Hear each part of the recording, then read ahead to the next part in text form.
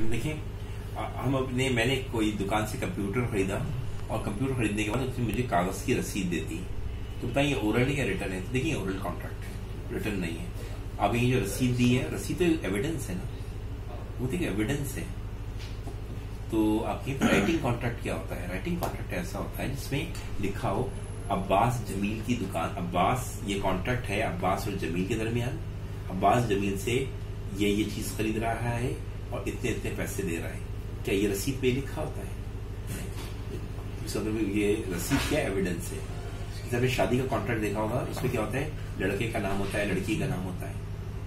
इधर जॉब का कॉन्ट्रैक्ट देखा होगा कि ऑर्गेनाइजेशन का नाम होता है एम्प्लॉय का नाम होता है। बड़ी डिटेल्स होती है उसके अंदर सैलरी कितनी है, क्या है। ये होता है राइटिंग में कॉन्ट्रैक्ट वो तो हम रसीद जो ले लेते हैं, पर्ची, वो तो एविडेंस है कि आपने कॉन्ट्रैक्ट किया है। और कॉन्ट्रैक्ट तो ओरल है। यस नो इम्तियाज़ में हम जो कॉन्ट्रैक्ट करते हैं वो क्या इम्प्लाइड है ना? क्या इम्तियाज़ वाला पर्ची नहीं देता है हमें? इम्तियाज़ हमें पर्ची देता है ना? रसीद देता है। और है कॉन्ट्रैक्ट इम्प्लाइड ओरल भी नहीं है। तो पर्ची तो ओरल में भी हो सकती है रिटर्न में भी हो सकती है और इम्प्लाइड में भी हो सकती है। तो रसीद जो है वो राइटिंग कॉन्ट्रैक्ट नहीं है। समझ में आ गया?